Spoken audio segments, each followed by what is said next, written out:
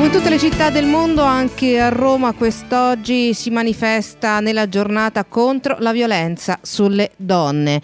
È una giornata importante con tantissimi eventi organizzati anche dal Comune di Roma. Noi ne parliamo insieme a Gemma Guerrini che è presidente della commissione delle elette in Campidoglio e che insomma ha organizzato proprio uh, tutte queste manifestazioni in occasione di questa giornata. Ben trovata Presidente Guerrini, buonasera. Buonasera a lei, buonasera a tutti. In che modo oggi il nostro, il nostro comune, la nostra città onora la giornata contro la violenza sulle donne? Allora, il Comune ha organizzato in verità un unico evento che però si eh, sviluppa e si snoda durante tutta la giornata in due luoghi diversi. Eh, questa, mh, mm, ci siamo visti a Valle delle Camene questa uh-huh. mattina eh, in Santa Maria in Tempolo, che è la sala dove si celebrano i matrimoni eh, da parte del comune, quindi i matrimoni civili. E eh, poi eh, lungo tutto questo pomeriggio invece l'incontro si ehm, svilupperà nella sala rossa del Campidoglio, quindi ambedue le sale che il comune mette a disposizione per la cerimonia dei matrimoni civili. In Roma però ogni municipio ha poi eh, ideato un evento, in, purtroppo alcuni ricordo anche eh, di cittadini residenti eh, nel territorio, eh, cittadine residenti nel territorio che sono state vittime eh, di violenza e di femminicidi. Quindi diciamo, la giornata è veramente ehm, eh, tutta impegnata a, alla, alla, celebrazione di questa giornata, nel ricordo, come ha detto questa mattina la sindaca Vigina Raggi, ma soprattutto nell'organizzare delle eh, strategie eh, per mh, affrontare questo problema nella maniera più consapevole eh, più approfondita eh, per contrastarlo. Questa è l'intenzione. Esatto, ed è importantissimo agire prima. No? A volte esatto. quando leggiamo questi, questi, fatti terribili di cronaca sul giornale di, ci chiediamo come sia possibile ancora oggi nel, nel, 2016. Non siamo un mondo sviluppato da questo punto di vista e purtroppo dobbiamo attuare dei segnali, dei campanelli d'allarme no? da poter alzare quando ovviamente il rischio è imminente, laddove insomma ci se ne accorga. Quindi è importante intervenire anche in questo senso. Le donne del comune si sono unite in queste celebrazioni, le assessore Muraro, Marzano, Meleo e Baldassarre, la presidente della comunità ebraica eh, Dureghello e la presidente anche di Acea Katia Tomasetti. Insomma avete fatto un team rosa per questa giornata in rosso. Ma direi che mm, veramente mi piace, mi piace correggerla. Prego. Perché in questa giornata è stato presente anche il segretario generale della uh, Grande Moschea di Roma, il dottor Abdullah Redouan.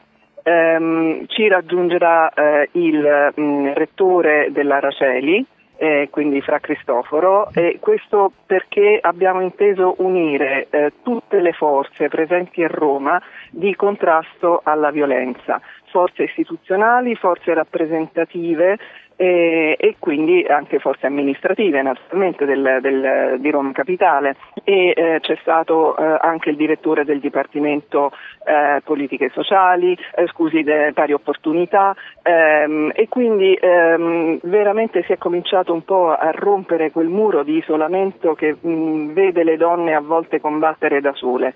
Questa non è una battaglia individuale, non è possibile che le donne pensino di poter contrastare la violenza se rimangono da sole.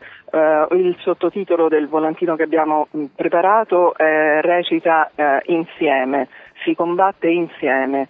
Eh, chi fa violenza su una donna non fa violenza su un individuo, fa violenza su un cittadino, su una cittadina che fa parte di una comunità. È una violenza che si sviluppa e si allarga a tutta la società e che se anche silenziosa comunque avviene e comunque incide profondamente sulla carne di questa città che diventa peggiore. Quindi per migliorare dobbiamo essere uniti a contrastare la violenza comunque essa sia. Poi le donne ne sono vittime in special modo certo. e soprattutto, mi spiace dire soprattutto, ma è così, i loro figli, i loro bambini. Quindi è veramente una battaglia che dobbiamo combattere tutte insieme.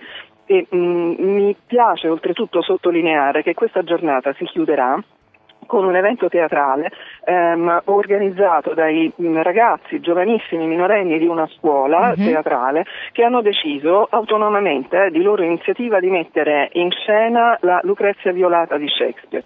Questa è una scelta importantissima che fa capire come veramente i ragazzi sono sensibili e abbiano delle antenne mm, più sviluppate delle nostre finché non gliele tagliamo, eh, perché Lucrezia Violata è proprio l'eroina romana della storia romana che ha preteso di venire vendicata non in quanto donna violata, ma in quanto cittadina e ha fatto ricadere la violenza che è stata perpetrata contro se stessa sulla comunità e eh, nonostante fosse stata come dire, perdonata, scusata, assolutamente assolta dal padre, dal marito, a lei non è bastato, ha detto no, io sono una cittadina e questa colpa deve ricadere sui eh, colpevoli, questo, questo fatto, la vendetta deve ricadere sui colpevoli perché io sono una cittadina romana e quindi ha offeso una comunità. E fu da allora che Roma cacciò i re.